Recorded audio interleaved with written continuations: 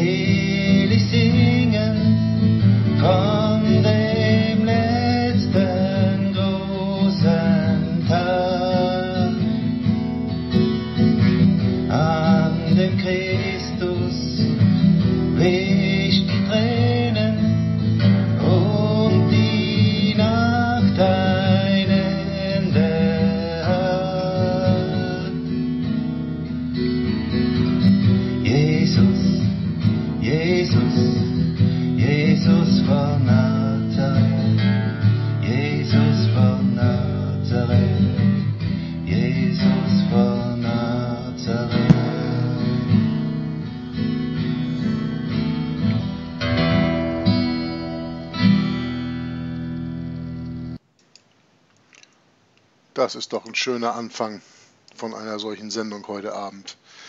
Alle Ehre unserem Herrn und da sind wir gleich in der richtigen Stimmung, über den religiösen Betrug zu sprechen. Bevor wir das machen, habe ich noch mal einen Kommentar vorbereitet, den ich euch gerne mal vorlesen wollte, der in Deutsch geschrieben wurde auf einem englischen meiner Videos, äh, When Pagan Rome Fell, Antichrist Rose, also wenn das Heidn als das heidnische Rom gefallen war, da stieg der Antichrist auf. Das ist ein der 22. Teil aus der Buchlesung, ähm, die göttliche Geschichte der äh, die göttliche, oh, wie heißt das wieder? The, ähm, The Divine Program of the World's History, also das göttliche Programm der weltlichen Geschichte, so heißt es auf Deutsch, von Albert Close, ein Buch, Buch das ich mit äh, hauptsächlich äh, Brett und dann in, äh, ich glaube, etwas späteren Lesungen ist auch Michael ständig dabei gewesen, zusammen durchgelesen habe in 62 Lesungen. Und dazu gab es einen Kommentar hier von Mythentommy, den wollte ich euch mal kurz eben vorlesen, um eben auch mal ein bisschen positive Kommentare zu bringen, was die letzten Tage auf meinem Kanal sich abgespielt hat, habt ja wahrscheinlich jeder mehr oder weniger mitbekommen, dass da unglaublich viele Rom-Trolle drauf sind. Aber dann finde ich doch auch immer schön, wenn man mal wieder gesagt bekommt, schau, Jörg, äh, die Arbeit, die du im Namen des Herrn machst, die erreicht auch mal wirklich äh, Leute im richtigen Sinne. Und da sagt der Mythen-Tommy hier, lieber Jörg, ich möchte dir, dem Bruder Michael und dem Bruder Viktor hier auf diesem Wege ganz recht herzlich für die unglaublich wichtige Reihe Bibelstudie danken. Das ist ja nun eine Videoserie, wo wir Kommentare mit Absicht ausgeschlossen haben. Und dann bedankt er sich eben hier auf diesem Video dafür. Das finde ich natürlich recht schön von ihm. Ich weiß, sagt er ehrlich gesagt gar nicht, wie ich es in richtige Worte schreiben soll, da mir diese Videos, obwohl ich erst bei Lesung Nummer 13 angekommen bin, so unfassbar im Glauben und zu unserem Herrn Jesus herangeführt haben. Ich war viele Jahre vorher auf anderen sogenannten christlichen Kanälen unterwegs, welche mir sicher auch ein Stück weitergeholfen haben. Jedoch hatte ich nie diesen tiefen Einblick und das Verständnis, was ihr in dieser von Gott gegebenen Reihe Bibelstudium erhielt. Du lieber Bruder hast mich auch von der futuristischen Lehre und all den Falschlehren und Auslegungen etc. weggebracht und mir mit deinen, mit deinen anderen vielen wertvollen Videos die Augen geöffnet. Sage hier nur, der größte Betrug seit dem Garten von Eden oder die verborgene Geschichte der Jesuiten und so weiter. Ich möchte und muss noch einmal auf eure und von Gott gegebene Serie Bibelstudie zurückkommen. Es ist für mich einfach sehr schwer in Worte zu fassen, was ich erlebt habe, als ich eure Studien gehört habe. Aber es hat wirklich bei jedem Vers Klick gemacht und ich habe die Dinge so gesehen, wie ich sie vorher nie alleine erkannt hätte. Und es ist alles so schlüssig, wie ihr dies vortragt und super und genauestens bis ins Kleinste erklärt. Seit ich euch zuhöre im Bibelstudium, brenne ich für unseren Herrn. Es ist richtig spannend und kann kaum die nächsten Teile von euch erwarten. Alleine wie mir ein Licht aufging bei den Erstgeburten von Adam und Eva, Kain, Abel und Zett und deren Linien, daraus alleine lässt sich schon wieder bis in unsere heutige Zeit so viel ableiten und erkennen. Unfassbar. Ich möchte hier auch dem Bruder Michael nochmal sehr danken, da seine Kommentare und wie er dies rüberbringt so klasse und wichtig für mich und sicher viel anderer ist. Danke. Aber natürlich auch dir, lieber Bruder Viktor, der immer sehr wichtige Kommentare einwirft. Kurz, um euer Gesamtpaket äh, kurzum, euer Gesamtpaket ist unschlagbar und für mich von Gott unserem Herrn gegeben. Ich bin so unendlich glücklich, dich und deinen wertvollen Kanal gefunden zu haben und ich schaue derzeit auch keine anderen Kanäle mehr, schlicht weil ich es nicht brauche und bei dir alles finde. Die Bibelstudie ist das sprichwörtliche i-Tüpfelchen, welches alles vereint.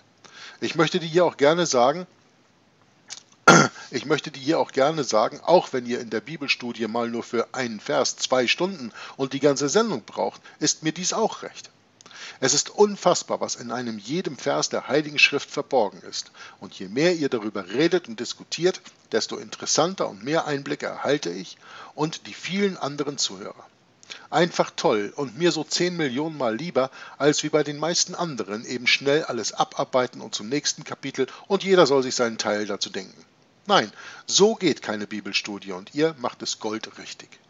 Ich merke auch, wenn ihr am Diskutieren seid, wie der Heilige Geist in euch wirkt. Einfach nur wunderbar. So, nun muss ich auch mal aufhören. Ist eh schon ein langer Kommentar von mir und du hast ja auch schon immer so viel damit zu tun, diese alle zu lesen. Bitte, äh, bitte überlese eventuelle Rechtschreibfehler oder Kommasetzungen. Ja, das frage ich die Leute bei mir auch immer zu tun. Aber ich denke, das Geschriebene ist eh wichtiger, da es aus tiefstem Herzen kommt, kommt als dies. Aber das musste mal raus und musste ich unbedingt loswerden, auch um eventuell andere, die meinen Kommentar gerade lesen, anfangen, eure Bibelstudie zu hören. Bitte macht genau da weiter und möge euch und eure Arbeit unser Herr Jesus Christus segnen. Maranatha. Ich finde das einfach so schön, deswegen lese ich das vor, nicht weil unsere Arbeit hier gelobt wird, die von Michael, Viktor und mir, aber dass man mal sieht, dass wir diese Bibelstudie gemacht haben, die wir ja angefangen haben, eben auch weil Viktor damals sagte, das war einer der Hauptgründe, weshalb er mich überhaupt kontaktiert hat, dass er einen tieferen Einblick in, in die Bibel und so bekommen wollte, Bibelstudie machen wollte. Daraufhin haben wir das damals angefangen und dann gesagt, wenn wir das dann machen, dann können wir das auch aufnehmen. Wenn wir es aufnehmen, können wir es auch veröffentlichen. Deswegen haben wir das gemacht. Aber es hat, glaube ich, Viktor eine ganze Menge gebracht, soweit. Ich denke, dass es Michael auch was gebracht und es hat mir auch was gebracht. Ähm, es ist ja nicht, wenn man das zum fünften oder sechsten Mal liest, dass man da keine neue Erkenntnis hat. Ganz im Gegenteil, hat man jedes Mal wieder. Und das ist eben das Spannende dabei. Und das soll natürlich auch jeden animieren, selber seine eigenen Bibelstudien zu machen, selber in dem Wort Gottes zu lesen, am besten tagtäglich und am Ende unserem Herrn Jesus Christus die Ehre dafür zu geben. Genau wie Alexander das eben auch gerade in diesem Lied gesungen hat. Ich finde, die beiden Dinge passen sehr gut zusammen. Dieser schöne Leserbrief hier oder dieser schöne Kommentar von Mythentommy auf dem, äh, auf dem Video von mir und ähm, das Stück Musikstück, das Alexander eingespielt hat, wovon nochmal herzlichen Dank. Ich freue mich darauf, hoffentlich jede Woche so etwas zu bekommen und dass wir unsere Lesungen dann immer damit anfangen können. Und jetzt gehen wir dann in das erste äh, PDF des Abends heute rein, nämlich Babylon Mysterien, Religion. Auf äh, Seite 70 in dem PDF sind wir stehen geblieben, eben wie gesagt in dem Kapitel Nummer 9, religiöser Betrug. Wir hatten da schon ein paar interessante Dinge gelesen. Wir hatten auch hier diesen Absatz schon gelesen, den wiederhole ich eben, deswegen gehe ich hier auch nicht in das extra Papier schreiben von Papst Franziskus über den Ablass rein. Das hatten wir ja letztes Mal bereits gelesen, als extra für dieses Kapitel. Wir wollen jetzt in dem Kapitel fortfahren und lesen, wo der Autor über das Geld für Gebet spricht, also über den Ablasshandel spricht. Und er sagt, die Reformation leistete gute Arbeit in der Enthüllung dieses bösen Brauches, Geld für Seelen im Fegefeuer zu geben.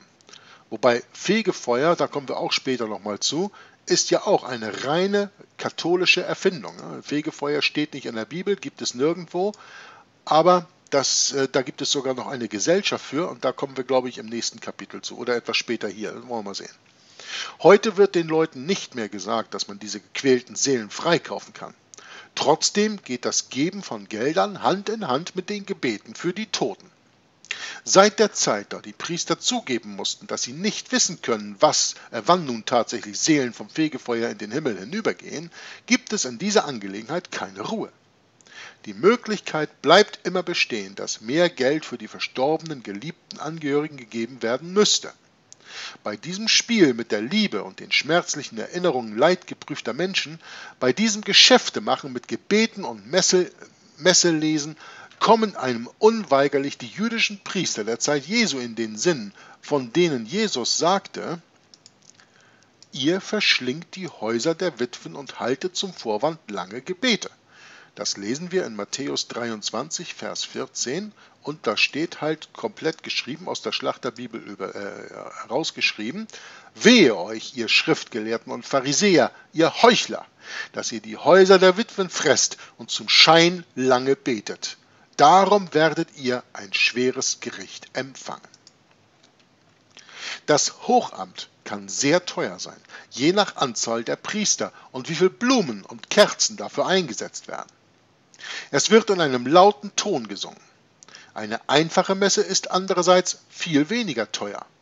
Es werden dafür nur sechs Kerzen verwandt und die Worte werden mit leiser Stimme wiederholt. Die Iren haben so ein Sprichwort. High Money, High Mass, Low Money, Low Mass, No Money, No Mass. Was so viel bedeutet wie viel Geld, ein Hochamt, wenig Geld, eine einfache Messe, kein Geld, keine Messe.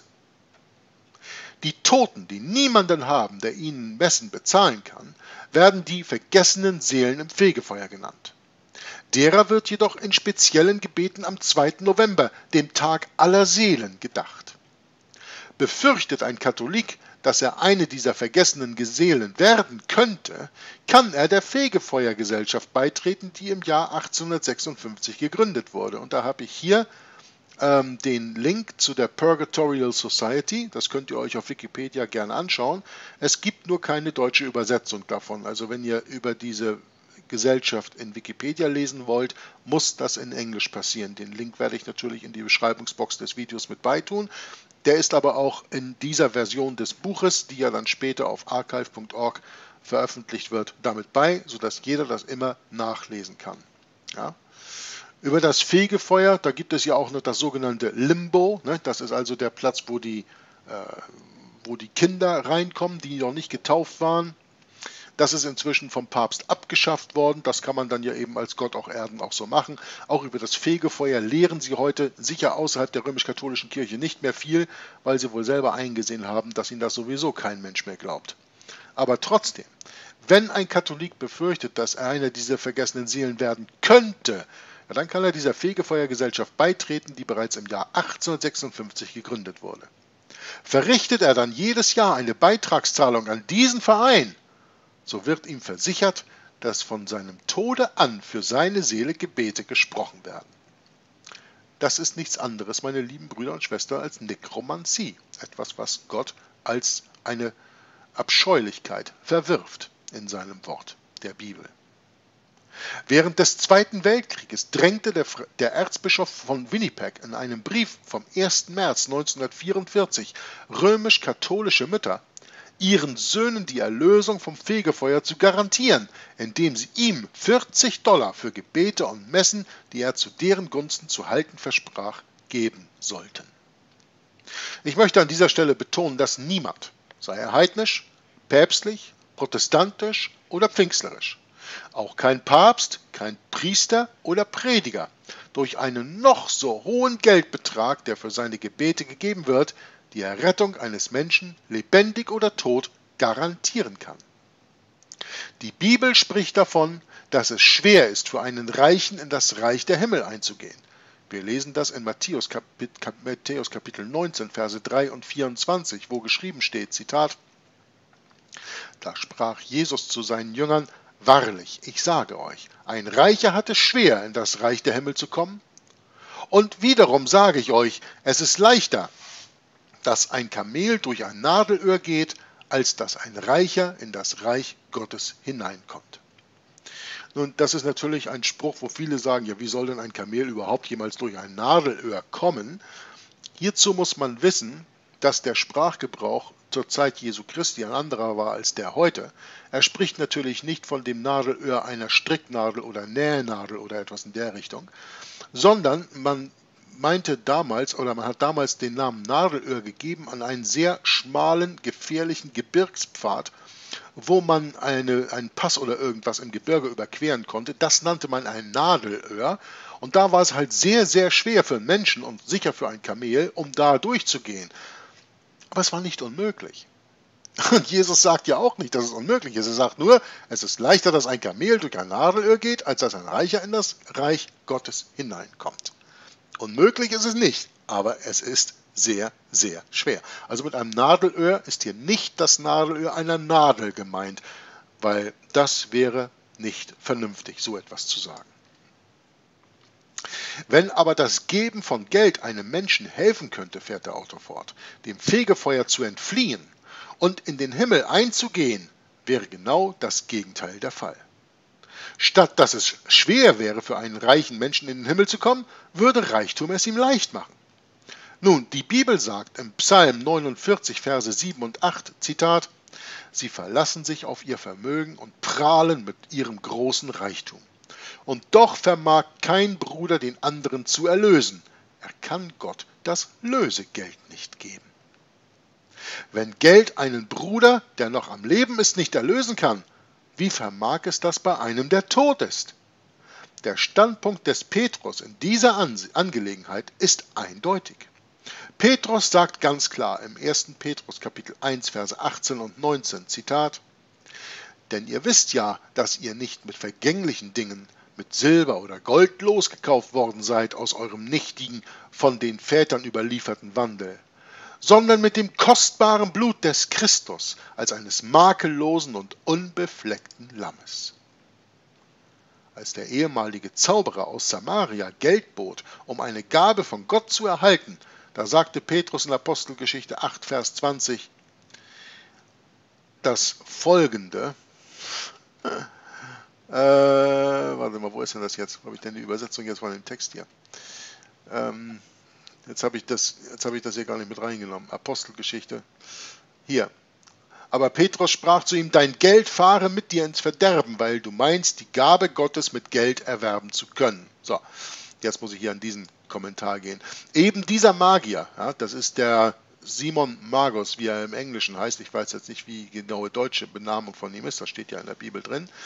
Dieser Magier ist der Begründer des Katholizismus. Im Englischsprachigen habe ich dort eine 17-teilige Serie drüber gemacht, in der ich zum größten Teil auch von Bruder Michael und äh, von Bruder Brett Norman begleitet wurde. Und die könnt ihr auf meinem rein englischsprachigen Kanal, könnt ihr die sehen. Das ist eine eigene Spielliste Simon Peter versus Simon Magus oder sowas in der Richtung heißt das. Der Link ist hier auch mit bei, das kann man sich da anschauen. Genau dieser Magier ist der Begründer des Katholizismus. Das haben wir sehr schön rausgearbeitet in der Zeit. Und wie gesagt, Petrus sagt hier, dein Geld fahre mit dir ins Verderben, weil du meinst, die Gabe Gottes mit Geld erwerben zu können. Die römisch-katholischen Vorstellungen über das Fegefeuer und über Gebete, die denen im Fegefeuer helfen sollen, entsprechen nicht der Lehre Christi oder der Lehre der Apostel. Sie wurden auch nicht in einem großen Umfang gelehrt, bis etwa zum Jahr 600, als Papst Gregor der Große Aussagen über einen dritten Zustand machte.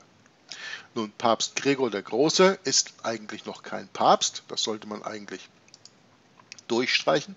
Wir wissen inzwischen, dass dieser Gregor der Große derjenige war, der in seinen Briefen an den regierenden Kaiser in Konstantinopel zu der Zeit gesagt hat, derjenige Bischof aller Bischöfe, der sich Bischof aller Bischöfe nennen lässt, das ist der Vorläufer des Antichristen. Darüber hatten wir in Romanismus und die Reformation gesprochen. Wir hatten sogar die Briefe von Gregor an den Kaiser vorgelesen. Und wir wissen, dass Gregor damit der letzte Bischof von Rom war.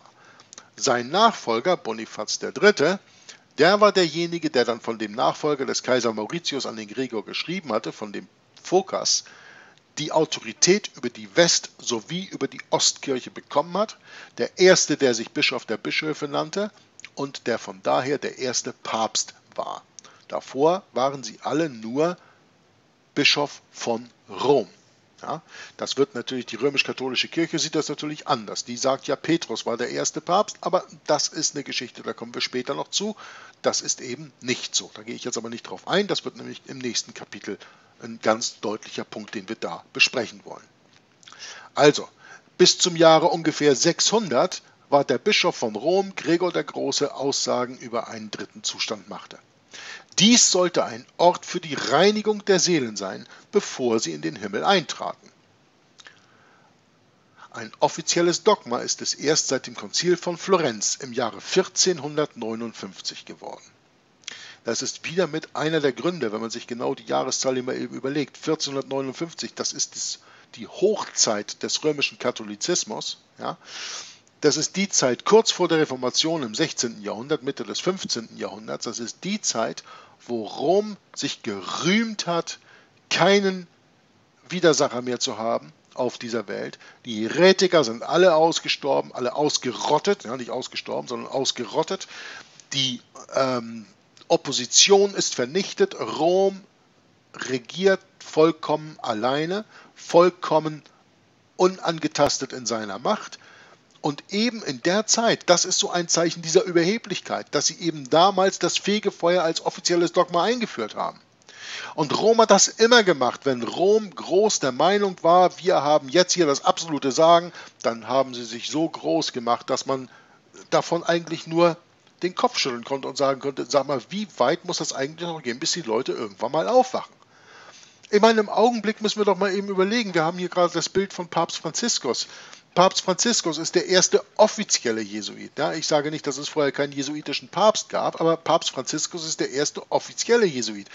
Da sollten doch bei einigen Leuten irgendwann mal bestimmte Groschen im Hirn fallen, dass man sagt, von, das kann doch nicht mehr. Die kommen hier raus, die brüsten sich damit, dass sie jetzt auch noch einen Papst im weißen Gewand auf den Stuhl setzen, die Jesuiten, die eine solche furchtbare Geschichte hinter sich haben, die letzten 500 Jahre, die wir in vielen Büchern besprochen haben, das ist auch wieder so ein Teil, wo Rom sich damit brüstet und man im Grunde als Protestant sich nur an den Kopf fassen kann und sich fragen kann, sag mal, wie viel wollen die Menschen eigentlich noch glauben? Genauso wie Adam Weishaupt es damals gesagt hat, oh du närrischer Mensch, was kann man dich nicht alles glauben machen? In 1459 konnte man den Leuten als offizielles Dogma sogar das Fegefeuer aufdoktrinieren. Während des 12. Jahrhunderts ging eine Legende um, in der es hieß, dass St. Patrick den tatsächlichen Eingang zum Fegefeuer gefunden hätte. St. Patrick, da haben wir auch in der Lesung des Buches, wo ich vorher den Kommentar drüber gelesen hatte, The Divine Program of the World's History, also das göttliche Programm über die weltliche Geschichte, ähm, ein oder zwei extra Sendungen gemacht über St. Patrick. Die sollte man sich auch mal angucken. Dann lehrt man, dass St. Patrick auch ein ganz anderes als der, wie er in der römisch-katholischen Kirche gelehrt wird. Also, um einige Zweifler zu überzeugen, hatte er in Irland eine sehr tiefe Grube gegraben, in die einige Mönche hinabstiegen. Die Geschichte sagt, die Legende nenne ich es mal, dass sie nach ihrer Rückkehr Fegefeuer und Hölle mit entmutigender Anschaulichkeit beschrieben. Im Jahre 1153 behauptete der Ritter Owen, er wäre ebenfalls durch die Grube hinunter ins Totenreich gestiegen. Von nah und fern kamen Touristen, um den Ort zu besuchen. Als dann finanzieller Missbrauch damit getrieben wurde, ordnete Antichrist Papst Alexander VI. im Jahre 1497 an, die Grube zu schließen, da das Ganze ein Betrug sei. Drei Jahre später jedoch hielt und veröffentlichte Antichrist Papst Benedikt XIV. eine Predigt in Rom, die für Patricks Fegefeuer sprach, die dafür sprach. So, und auf der Zeichnung hier haben wir eine typische alte deutsche Zeichnung der Kunst und Vorstellung des Mittelalters. Maria wird zur Himmelskönigin gekrönt und unten werden Engel und Dämonen am Maul des Fegefeuers gezeigt. Ich glaube, wenn man sich so etwas anschaut aus der Zeit, dann müssen doch die ersten Minenarbeiter ganz schön Angst gehabt haben, in ihre Schächte runterzusteigen, oder?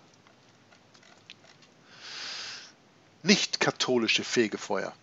Gibt's sowas auch? Den Glauben an ein Fegefeuer gibt es schon eine lange Zeit. Bevor Rom das eingeführt hat, war das natürlich schon längst heidnisch etabliert. Das gibt es bei den alten Ägyptern, das gibt es bei den Chaldäern. Ah, wir werden sehen. Den Glauben an ein Fegefeuer gibt es schon so lange, dass selbst Plato, der zwischen 427 und 347 vor Christus lebte, berichtete von den orphischen Lehrern seiner Zeit. Und er hatte folgendes zu berichten: Zitat: Sie kommen in Scharen an die Türen der Reichen und versuchen diese zu überzeugen, dass ihnen eine Macht zur Verfügung stünde, die sie vom Himmel erhalten hätten und die sie mittels Opfergaben und Beschwörungen befähige, jegliches Verbrechen, das von dem Einzelnen selbst oder von seinen Vorfahren begangen worden war, wiedergutzumachen. Die Inanspruchnahme ihrer Mysterien rettete uns vor den Qualen der anderen Welt während ihre Vernachlässigung mit einem furchtbaren Schicksal bestraft werden würde. Ende Zitat. Hier nochmal der Link zur äh, Fegefeuergesellschaft, Purgatorial Society im Bild. In den heiligen Schriften des Buddhismus, ich weiß nicht, was an den Schriften heilig ist, also das hätte man hier wahrscheinlich eigentlich besser in Anführungsstriche machen sollen, findet man eine ausführliche Beschreibung über die Leiden im Fegefeuer. Es gab Zeiten, in denen so viele der chinesischen Buddhisten kamen, um Gebete für die Errettung der ihnen Nahenstehenden aus dem Fegefeuer zu kaufen, dass für diesen Zweck besondere Geschäfte eröffnet wurden. Das sieht man in der Zeichnung hier oben. Chinesische Buddhisten verkaufen Ablass. Also es ist nichts, was gebunden ist an die römisch-katholische Kirche. Die Jesuiten waren sogar sehr erstaunt, als sie nach Japan und China, vor allen Dingen nach China kamen, dass man dort sogar Maria-Verehrung angetroffen hat in den heidnischen Kulturen der Chinesen.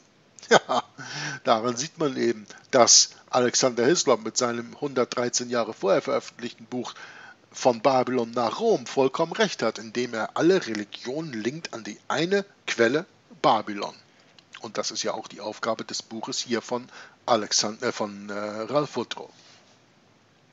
Nach der Religion Zarathustras werden Seelen durch zwölf Stufen geführt. Ja, zwölf Stufen. Woher kennen wir die zwölf Stufen? Anonyme Alkoholiker? Kennt ihr das? Das hat alles damit zu tun. Also nach der Religion Zarathustras werden Seelen durch zwölf Stufen geführt, bis sie endlich ausreichend gereinigt sind, um in den Himmel einzutreten. Die Stoiker glauben an einen Zwischenstand der Erleuchtung, den sie Empurosis nennen. Das heißt, ein Gott des Feuers, ein Ort des Feuers, Entschuldigung. Nach der moslemischen Lehre fragen die Engel Munker und Nekir diejenigen, die sterben, nach deren Religion und deren Propheten. Viele von ihnen gehen ins Fegefeuer. Ein Entkommen ist jedoch möglich, sofern einem Priester Geld gegeben wird. Diese Idee, Geld für Tote zu geben, ist sehr alt. Dies ist eine Auffassung, von der auch in der Bibel berichtet wird. Offensichtlich waren die Israeliten diesem Glauben zugetan, da sie gewarnt werden, kein Geld für einen Toten zu geben, wie wir in Deuteronomium äh, Kapitel 26, Vers 14 nachlesen können, wo geschrieben steht, Zitat, ich habe nicht während meiner Trauerzeit davon gegessen und habe nichts davon verbraucht zu einem unreinen Zweck. Ich habe nichts davon für einen Toten gegeben. Ich bin der Stimme des Herrn, meines Gottes, gehorsam gewesen und habe alles getan, wie du es mir geboten hast. Nachdem Alexander Hislop in seinem Buch von 1853 den detaillierten Beweis für seine Schlussfolgerung erbracht hatte, sagt er, Zitat, in jedem System, außer dem der Bibel, hat deshalb die Lehre vom Fegefeuer nach dem Tod und von Gebeten für die Toten einen wichtigen Platz eingenommen. Also in jedem System, außer der Bibel. Außer hier wollte ich das eben, farblich. Naja, geht nicht ohne das Wort System. Machen wir es so. Die Anbetung des Moloch. Es ist sehr gut möglich, sagt der Autor, dass der Begriff des Fegefeuers und bestimmte Vorstellungen, die mit der Anbetung des Moloch zusammenhängen, aus derselben Quelle stammen. Moloch kennen wir und werden wir auch gleich in einigen Bibelversen hier lesen. Auch dieses Bild ist im Internet ziemlich bekannt, wo hier ein Priester ein Kind dem Moloch opfert oder zum Opfer darbringt. Es scheint, dass verschiedenste Völker die Vorstellung hatten, dass Feuer, auf welche Weise es auch immer zur Anwendung kam, notwendig sei, um von Sünde zu reinigen. Es wurde den Israeliten wiederholt verboten, ihre Kinder dem Moloch durch das Feuer gehen zu lassen. So lesen wir im Levitikus, also drittes Buch Mose, Kapitel 18, Vers 21, Zitat, Du sollst auch von deinen Kindern keines hergeben, um es dem Moloch durch das Feuer gehen zu lassen. Und du sollst den Namen deines Gottes nicht entweihen. Ich bin der Herr. In Jeremia Kapitel 32, Vers 35 lesen wir, Sie haben dem Baal Höhen gebaut im Tal Ben Hinnom, um ihre Söhne und Töchter dem Moloch durchs Feuer gehen zu lassen, was ich nicht geboten habe und mir nie in den Sinn gekommen ist, dass sie solche Gräuel verüben sollten, um Juda zur Sünde zu verführen.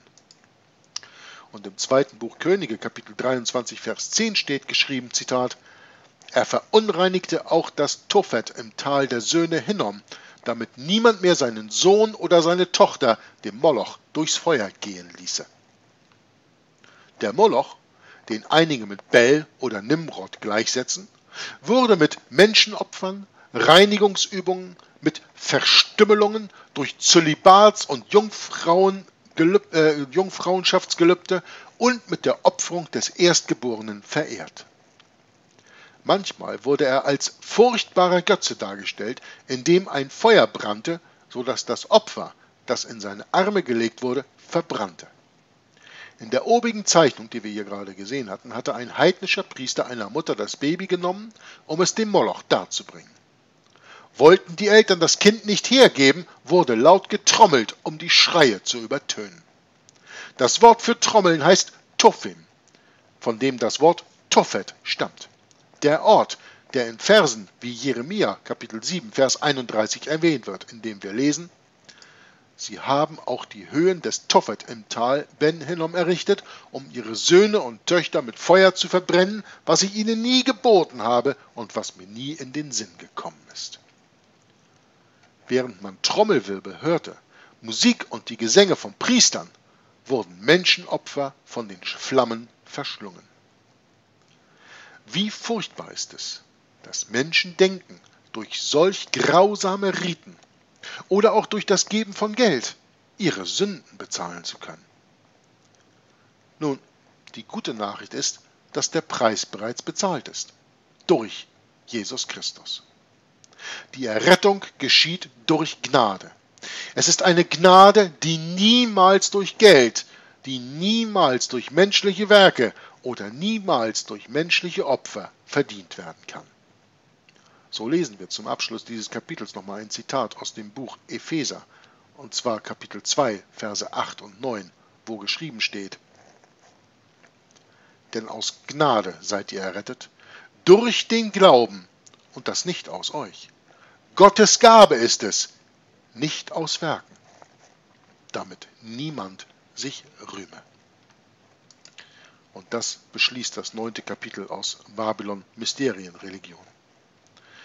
Wir kommen dann in das zehnte Kapitel, das lautet, war Petrus der erste Papst? Die Gleichheit in Christus oder die Herrschaft des Papstes, das ist hier die Frage. So, und hier habe ich ein extra PDF vorbereitet, das wir uns jetzt mal eben anschauen können. Ich muss ab und zu mal von meinem Tee trinken. Und das ist ein sehr interessantes ähm, Papier, da es kommt von jemandem, der selber von sich sagt, dass er ein Atheist ist, nämlich Rudolf Augstein. Rudolf Augstein war Chefredakteur des Spiegel, das Nachrichtenmagazin, das ja wohl, glaube ich, jeder in Deutschland kennen sollte. Ich lasse den Film hier eben noch zum Ende laufen, während wir hier weiterlesen, obwohl wir jetzt ins nächste Kapitel gehen. Aber dieser Rudolf Augstein hat einen Artikel geschrieben, Der Fels, der nicht in Rom war. Und ich fand den so interessant, dass ich dachte, das könnte man doch genau hierzu lesen, weil es geht ja um, war Petrus der erste Papst? War Petrus in Rom? Das, was ich mit Michael und Brett in dieser 17-teiligen Serie gemacht habe über Simon Magus und Peter, äh, und Peter war nicht der erste Papst, das gehört ja zusammen, oder Petrus war der erste Papst, das gehört ja zusammen, dieses Thema, haben wir in, äh, in einem Abwasch gemacht. Wir hatten da ja das Buch von Ernest L. Martin gelesen im Englischen, das heißt Simon Peter vs. Simon Magus und damit eben ganz deutlich bewiesen, dass Petrus nie in Rom war, fand ich dann sehr interessant, das von einem äh, Chefredakteur äh, einer Zeitschrift zu bekommen oder eines Magazins, eines deutschen Magazins, das ja einen gewissen Ruf hat, der dann von sich selber auch noch sagt, dass er ein Atheist ist, der zwar katholisch erzogen wurde, dann aber aus der katholischen Kirche mehr oder weniger ausgetreten ist. Nun da bleibt mir nur sozusagen, meine lieben Brüder und Schwestern, wir wissen nach dem Lesen von äh, Herrscher des Bösen, die päpstlichen Enzykliken ähm, Inter Mirifica und Miranda Prosus, äh, wer die Medien kontrolliert. Also auch wenn er nach außen hin so gesagt ein Atheist war, er wird auf die ein oder andere Art und Weise seinen Vorgesetzten gehorcht haben, sonst hätte er nicht die Position gehabt, die er hatte, und sonst hätte er nicht das Magazin jahrelang geführt. Das sage ich ganz deutlich damit zu. Ja? Aber schreiben wir doch mal, was er dazu zu sagen hat. Was hat denn jemand, der im Grunde von sich selbst behauptet, nicht an Gott zu glauben, zu sagen über die römische Geschichte, dass Petrus in Rom war? Oder besser gesagt, dazu zu, was hat er dazu zu sagen, dass er nicht in Rom war? Deswegen sagt er hier, der Fels, der nicht in Rom war. Ne? Der Fels, das geht ja zurück auf Matthäus, ich glaube Kapitel 16 steht es drin, nach dem Motto, wo Jesus Christus sagt, du bist der Fels, auf diesen Fels baue ich meine Gemeinde. Natürlich ist das total verkehrt ausgelegt von der römisch-katholischen Kirche. Wer da noch mehr genaueres zu wissen möchte im Deutschen, der kann sich meine Videospielliste angucken. Äh, Luther 2017, da bin ich auch intensiv drauf eingegangen, nämlich in dem dabei angehängten Buch. Ähm, das Papsttum zu Rom vom Teufel gestiftet, das Buch, das Martin Luther 1545 veröffentlicht hat, das in der Spielliste mit bei ist, komplett gelesen. Da geht Martin Luther auf verschiedenen Seiten äh, tief drauf ein und ich dann auch, wie der Papst Matthäus Kapitel 16 und 18 auch die Aussagen und Taten von Petrus hier missbraucht für seine Art der Auslegung. Das nochmal eben dazu, wer da halt noch mehr Informationen drüber möchte. Aber dann lesen wir doch jetzt mal den Artikel von Rudolf Augstein, Der Fels, der nicht in Rom war, zur Einleitung des Babylon-Mysterienreligions war Petrus der erste Papst und lesen hier, was er schreibt. Es fehlt an allen denkbaren Beweisen und Hinweisen, dass der Apostel Petrus je in Rom gewesen ist, ganz zu schweigen davon, dass er Bischof von Rom war. Auch die Legende er sei im Zirkus Nero gekreuzigt worden wie sein Heiland, allerdings aus lauter Demut mit dem Kopf nach unten hängend, ist nichts anderes als ein frommes Märchen. Und wie auch hätte er nach Rom gelangen sollen, wenn nicht auf Geheiß der römischen Oberherren. Dennoch galt und gilt der Petersdom in Rom als geistlicher Mittelpunkt der Katholiken in aller Welt, ja aller Christen. Ich habe Christen extra grün angestrichen, weil ich eben meine, dass man da eben Katholik mit meinen sollte. Ein wirklicher Christ, für den gilt der Petersdom in Rom nicht als geistiger Mittelpunkt. Kaum einer der Gläubigen nimmt Anstoß daran, dass dieser Prachtbau auf Fälschungen, Täuschungen und träumerischen Sehnsüchten errichtet worden ist. Mit Paulus der bedeutendsten Gestalt des Urchristentums, stand es ganz anders. Er war ein römischer Bürger. Der ihn verhörende römische Statthalter von Judäa, Festus, sagte, Zitat, zum Kaiser willst du gehen, zum Kaiser wirst du kommen. Ende Zitat. Paulus gelangte als Gefangener mit einem Schiff über Kreta und Malta nach Rom. In der Haft durfte er Briefe empfangen und Sendschreiben schicken. Wie lange? Das bleibt umstritten, denn er wurde hingerichtet, möglicherweise im Jahr 64 nach Christus, dem Jahr, in dem Kaiser Nero Brände in einigen Bezirken Roms den Christen anlastete. In jenem Jahr setzte eine grausame Christenverfolgung ein. Sein Tod in Rom kann für wahr gehalten werden.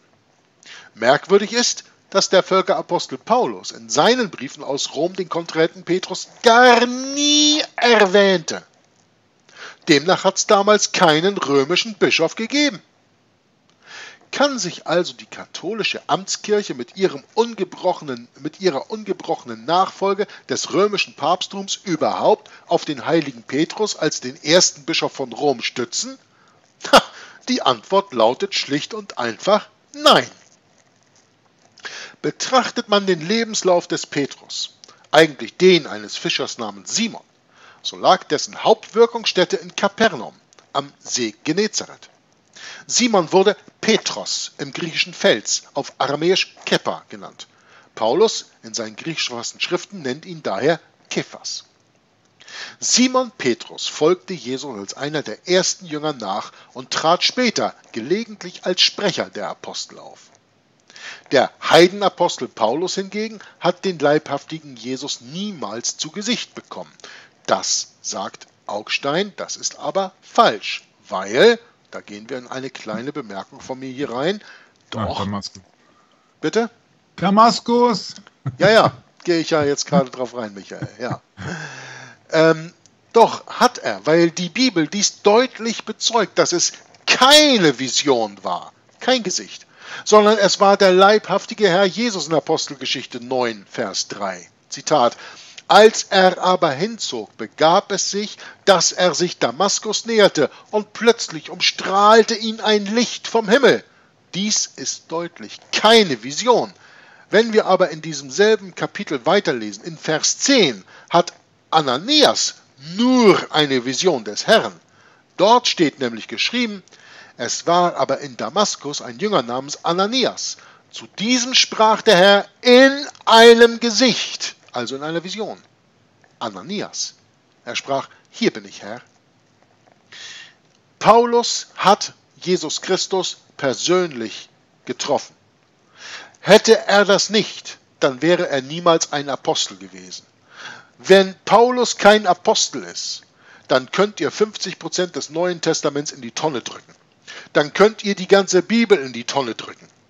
Also gehe ich davon aus, dass Gott sehr gut weiß, wenn er weiß, was er schreibt in der Apostelgeschichte, wenn er sagt, auf der Reise auf der Straße nach Damaskus ist Jesus Christus dem Paulus begegnet. Und zwar, oder besser gesagt, dem Saulus. Er ist dann ja erst zu Paulus geworden.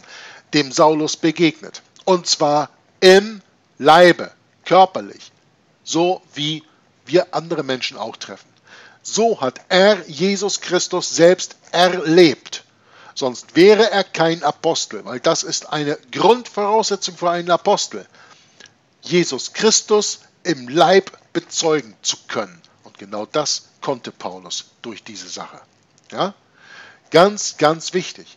Wenn also hier der ähm, Augustin oder wie heißt er jetzt, ich vergesse seinen Namen immer hier, der Augstein, nicht Augustin. Wenn der Augstein sagt, der Heidenapostel Paulus hat den leibhaftigen Jesus niemals zu Gesicht bekommen, dann sagt er hier die Unwahrheit.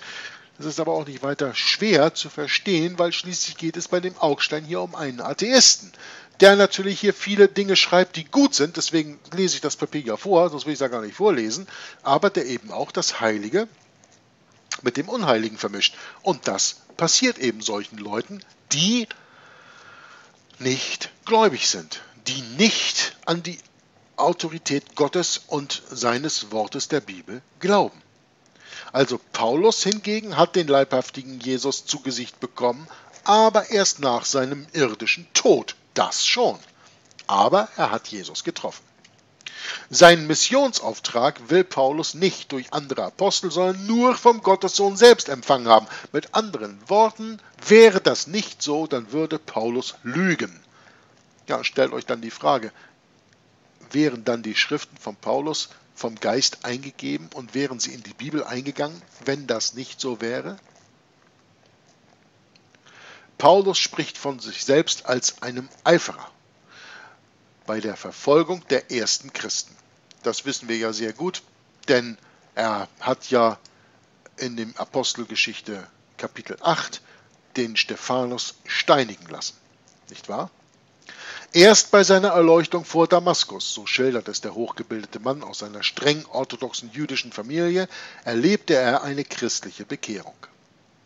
Da Petrus und Paulus um das Jahr 65 ins Dunkel der Zukunft verschwinden, lag es nahe, sie in der Legende als gleichgesonnenes Paar zu verbinden. Der 29. Juni wurde zum Peters- und Paul-Tag ausgerufen. Da hatte ich letztens mit Michael noch drüber diskutiert, als wir in der Agenda-Agenda gesprochen hatten über den Rattenfänger von Hameln. Jetzt bin ich natürlich nicht ganz sicher. Ich weiß nicht, gibt es da äh, eine Uneinigkeit im Datum? Ich meinte mich zu erinnern, dass da 26. Juni gestanden hätte. Hier steht der 29. Juni. Ähm, das weiß ich jetzt nicht. Auf jeden Fall ist das der Tag, der 29. Juni, wie es hier steht, der zum Peter- und Paul-Tag ausgerufen wurde. Peter und Paul ist ganz interessant, wo Petrus und Paulus nämlich Remus und Romulus ersetzten als römische Gründer. Wie nennt man denn sowas? Missionarische Adaption. Ja? Die Heidnisierung christlicher Figuren oder christlicher Menschen, Heiliger im Grunde in diesem Fall. Also, der 29. Juni wurde zum Peter- und Paul-Tag ausgerufen und selbst die orthodoxen Christen im fernen St. Petersburg benannten eine Festung nach ihnen. So unterschiedlich die beiden Apostel gewesen sein mögen, Petrus und Paulus, nach der Überlieferung teilten beide die Überzeugung, die Wiederkehr des Herrn würde in naher Zukunft erfolgen. Und beide hatten unter Fesselung der Hände und Füße die Gefangenschaft verbracht. Doch eigentlich war Stephanus, der die orthodoxen Juden mit seiner freieren Haltung zum Gesetz gegen sich aufbrachte, der erste christliche Märtyrer. Er wurde von ihnen gesteinigt unter der Aufsicht von Saulus. Dies war eine von der römischen Besatzung tolerierte Todesart, der auch der strengste Jünger, Jakobus, Bruder des Herrn und Leiter der Jerusalemer Gemeinde, im Jahr 62 nach Christus erlag. Zu jener Zeit lebte Petrus noch. Von seiner Berufung zum Bischof von Rom und Vorläufer aller Päpste scheint er aber nicht im entferntesten etwas geahnt zu haben. Die Rivalität unter den Jesusjüngern sind nicht exakt beweisbar, scheinen aber plausibel, wie Bibelstellen, ganz besonders der Galaterbrief des Paulus wohl belegen. Merkwürdig nun, dass der Tod des Apostelfürsten Petrus ebenfalls wie der Tod von Paulus in das Jahr 64 verlegt wurde, denn nach einer anderen Überlieferung Ah ja, ah, hier sprechen wir also nicht von der Bibel, sondern von einer Überlieferung, wurde Petrus, na, Paulus, nach dem Apostelkonzil von Jerusalem, Jahr 49 an Antiochia, am Orontes, dem Fluss, da gibt es hier einen interessanten Link zu, den ich da beigemacht habe, ähm, gesteinigt. Ob er dabei getötet wurde, ist auch nicht sicher. Ja? Also, wenn wir hier darüber lesen, der, der, der Augstein schreibt hier über Petrus im Jahr 49 am Fluss Orontes. Die Bibel sagt dazu folgendes. Ab Vers 19 von Petrus Steinigung steht nichts in der Bibel. Ne? Also wenn wir hier über Apostelgeschichte äh, sprechen. Habe ich jetzt die Dinge nicht mit rausgeholt. Hier Apostelgeschichte 14. Ne? Hier ist hier der Link ja, von der vom Bibelserver, wie ihr seht. Ja, also müssen wir Apostelgeschichte 14 lesen, dann sprechen, lesen wir von der Steinigung. Das ist die einzige Steinigung, die im Buch der Apostelgeschichte vorkommt. Und da geht es um die Steinung von Paulus. Da geht es nicht um Petrus. Ja? Und äh, Bible Places Anti, äh, Antioch Orontes, der oberste Link hier ist sehr interessant. Da sind ein paar interessante Bilder drin von der Gegend, um sich das anzuschauen. Auch von der ersten Kirche, die da von den Antiochern damals aufgerichtet wurde. Höhlen teilweise, wo die ihre Versammlung abgehalten hatten, weil sie da verfolgt wurden. Ist ganz interessant, sich das anzuschauen. Aber wie gesagt, Apostelgeschichte 14, das müsstet ihr dann mal lesen, ab Vers 19, und da steht von Petrussteinigung überhaupt nichts in der Bibel. Also ich gehe davon aus, dass der Augstein sich hier geirrt hat, aus welchem Grund auch immer, oder er will die Leute in die Irre führen. Ja, das macht er ja auch mit seinem Job, um diesen Spiegel rauszugeben. Das ist ja eine andere Sache. Jedenfalls, nochmal den Satz von vorne.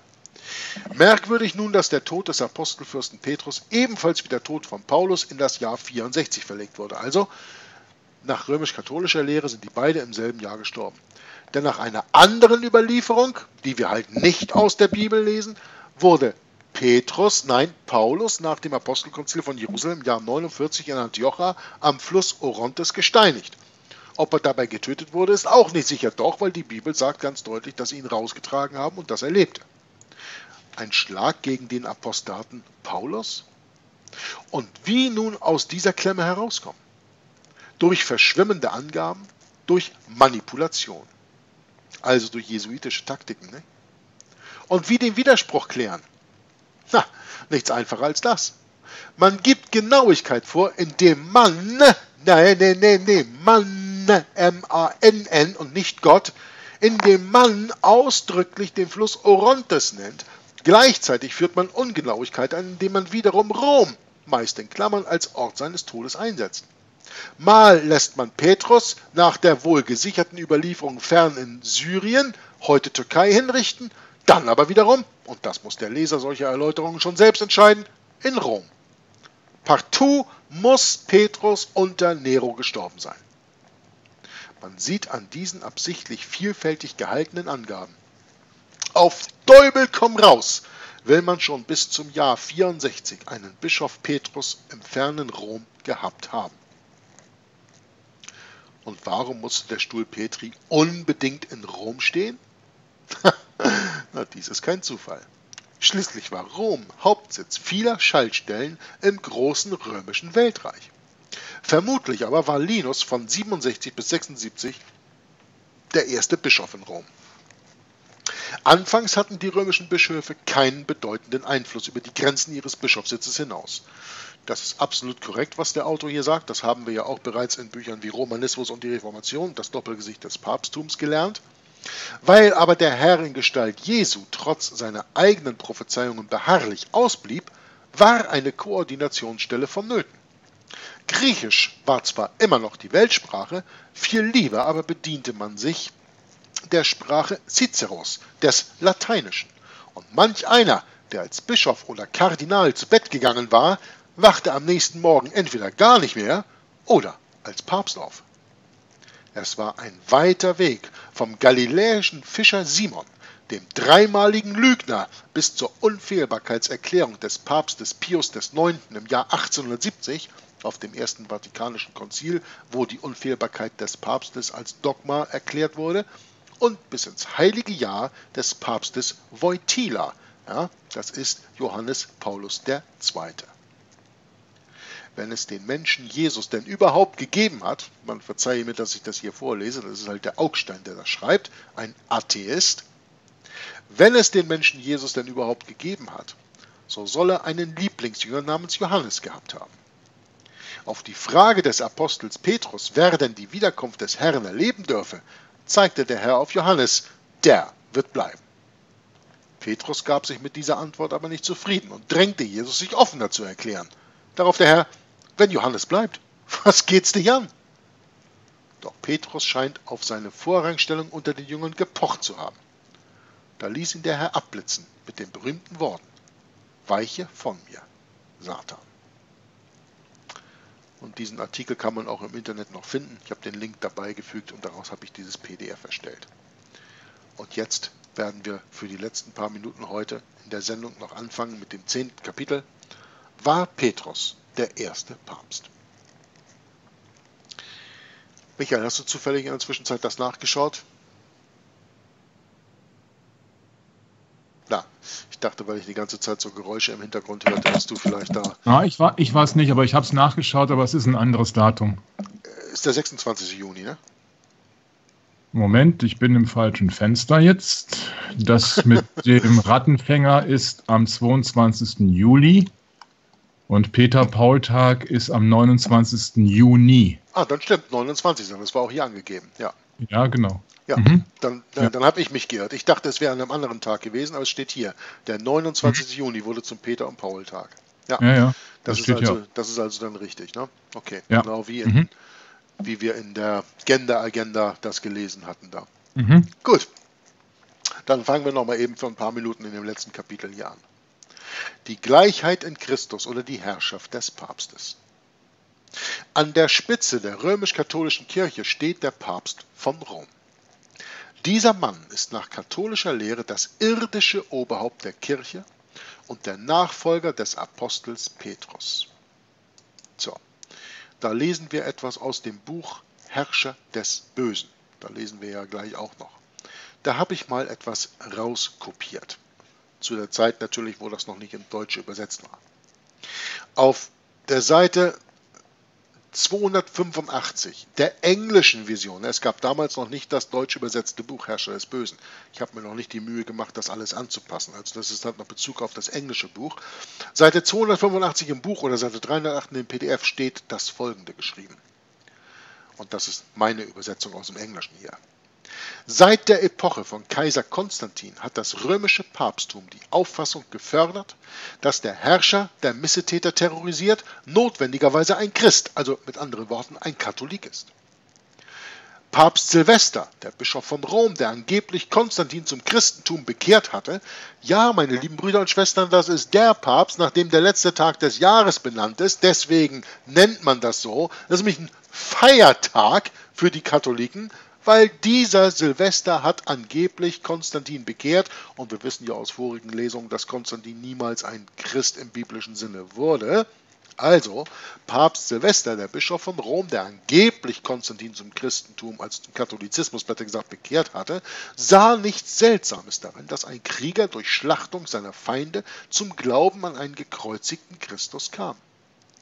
Dieses Denken durchdrang die Nachfolger von Silvester sowie die Kreuzzüge, das Heilige Römische Reich, den europäischen Nationalismus, die amerikanische Revolution, den amerikanischen Sezessionskrieg und die Kriege des 20. Jahrhunderts.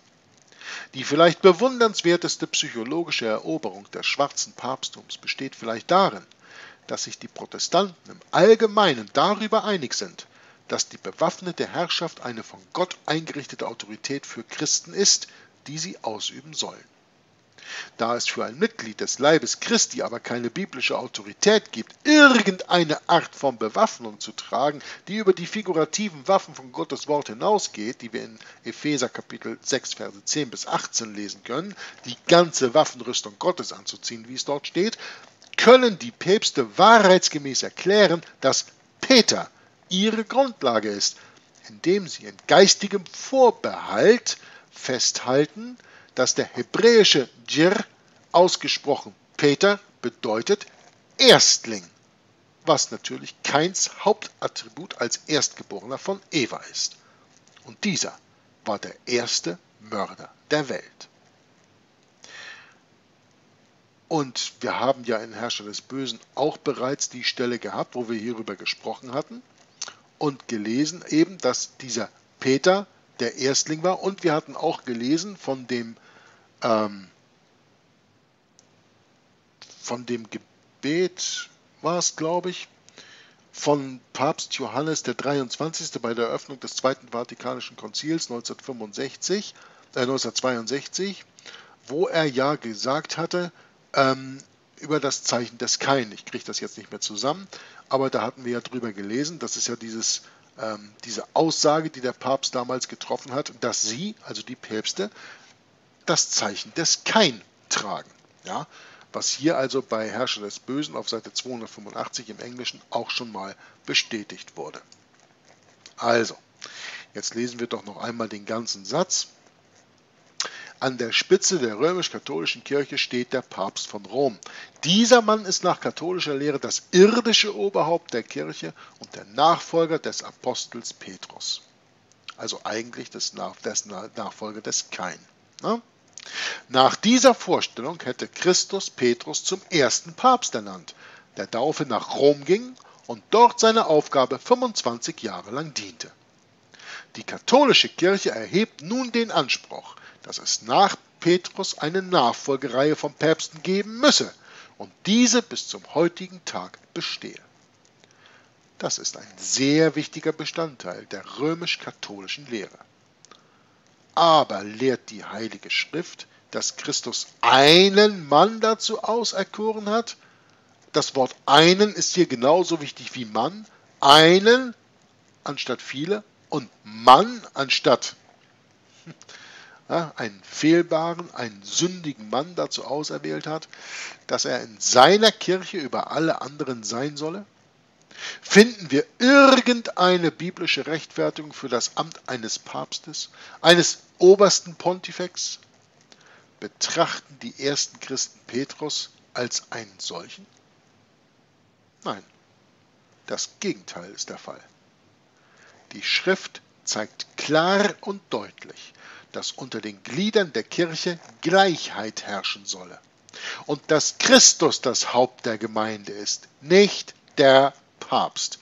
Epheser Kapitel 5, Vers, 2, Vers 23 sagt hierzu Zitat, denn der Mann ist das Haupt der Frau, wie auch der Christus das Haupt der Gemeinde ist, und er ist der Retter des Leibes. Jakobus und Johannes kamen einst zu Jesus und fragten ihn, ob einer von ihnen zu seiner Rechten und der andere zu seiner Linken im Reiche Gottes sitzen könne. Im orientalischen Königreichen nahmen zwei Minister des Staates, die an Autorität direkt unter dem König standen, eben diese Plätze ein. Wenn der Anspruch, den die katholische Kirche erhebt, wahr sein soll, hätte Jesus erklärt, dass Petrus der Platz an seiner Rechten zustehe und er nicht beabsichtige, eine besondere Position an seiner Linken zu schaffen.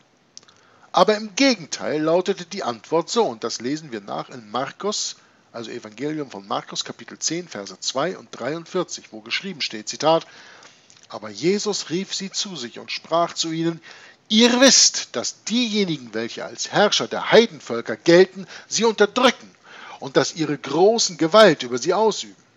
Unter euch aber soll es nicht so sein, sondern wer unter euch groß werden will, der sei euer Diener. Und wer von euch der Erste werden will, der sei aller Knecht. In dieser Aussage stellt Jesus eindeutig klar, dass keiner von ihnen über die anderen Menschen herrschen solle. Stattdessen lehrte er Gleichheit und verneinte klar die Prinzipien, die im Papsttum gelten, indem ein Papst als der Bischof der Bischöfe über die Kirche herrscht. Eine andere Art und Weise, wie Jesus das Prinzip der Gleichheit lehrte, war die Warnung vor dem Gebrauch schmeichelhafter Titel wie Vater. Das Wort Papst bedeutet Vater. Oder Rabbi, das Meister bedeutet. Denn einer ist euer Meister, ihr aber seid alle Brüder. Ja? Und zwar lesen wir dazu in der Bibel, äh, im, das ist Matthäus Kapitel 23, und zwar 1 bis 12 habe ich ja hier rauskopiert und damit werden wir die Lesung für heute beenden. Da redete Jesus zu der Volksmenge und zu seinen Jüngern und sprach, die Schriftgelehrten und Pharisäer haben sich auf Moses Stuhl gesetzt. Alles nun, was sie euch sagen, dass ihr halten sollt, das haltet und tut. Aber nach ihren Werken tut nicht, denn sie sagen es wohl, tun es aber nicht. Sie binden nämlich schwere und kaum erträgliche Bürden und legen sie den Menschen auf die Schultern. Sie aber wollen sie nicht mit einem Finger anrühren. Alle ihre Werke tun sie aber, um von den Leuten gesehen zu werden. Sie machen nämlich ihre Gebetsriemen breit und ihre Säume an ihren Gewändern groß. Und sie lieben den obersten Platz bei den Mahlzeiten und die ersten Sitze bei den Synagogen und die Begrüßungen auf den Märkten und wenn sie von den Leuten Rabbi, Rabbi genannt werden. Ihr aber sollt euch nicht Rabbi nennen lassen, denn einer ist euer Meister, der Christus. Ihr aber seid alle Brüder. Nennt auch niemand auf Erden euren Vater, denn einer ist euer Vater, der im Himmel ist. Auch sollt ihr euch nicht Meister nennen lassen, denn einer ist euer Meister, der Christus. Der Größte aber unter euch soll euer Diener sein. Wer sich aber selbst erhöht, der wird erniedrigt werden. Und wer sich selbst erniedrigt, der wird erhöht werden. Damit schließen wir nach etwas über einer Stunde heute diesen ersten Teil dieses Textes ab mit dem letzten Satz. Die Vorstellung, dass einer von ihnen also zum Papst erhoben werden sollte, steht im krassen Gegensatz zu diesem Textabschnitt. Nun wissen wir aber inzwischen ja, dass die römisch-katholische Kirche von der Bibel nichts wissen will und dass sie die Bibel verbietet, ihren Mitgliedern zu lesen. Und sicher dann, wenn die Leute sie alleine lesen wollen oder wenn sie sie in ihrer eigenen Sprache lesen wollen. Die Politik der römisch-katholischen Kirche in der Hinsicht ist noch immer nicht verändert gegenüber Hunderten von Jahren. Die römisch-katholische Kirche sagt immer noch, dass ein normaler Mensch wie du und ich die Bibel nicht verstehen kann, dass wir die Erklärung eines Priesters dazu nötig haben und es ist immer noch verboten, die Bibel in der eigenen Sprache zu lesen. Deswegen ist die römisch-katholische Kirche im Hintergrund damit beschäftigt, all diese Institutionen aufzurichten und zu unterstützen, die falsche Bibeln in die Welt bringen, die falsche Texte übersetzen in die jeweilige Sprache, so dass wir dann Bibeln wie die Elberfelder oder neue Weltübersetzung oder wie sie alle heißen ähm, lesen, die nicht basieren auf den originalen Texten. Die römisch-katholische Kirche ist in der Hinsicht immer noch nicht verändert. Sie wird sich auch nie verändern, weil sie ist semper eadem. Und darum ist es so wichtig für uns, dass wir unsere Bibel kennen, lesen, lieben und leben und dadurch Jesus Christus und unseren Vater im Himmel kennenlernen. Und deswegen möchte ich auch, wenn es jetzt auch ein bisschen kurz ist, ich hätte sonst noch einen längeren Abschluss gehabt, möchte ich doch das nicht zu lange machen und damit abschließen und zu sagen, bitte, bis zum nächsten Mal, wenn wir wieder zusammenkommen für die nächste Lesung von Babylon Mysterienreligion, lest eure Bibel. Maranatha.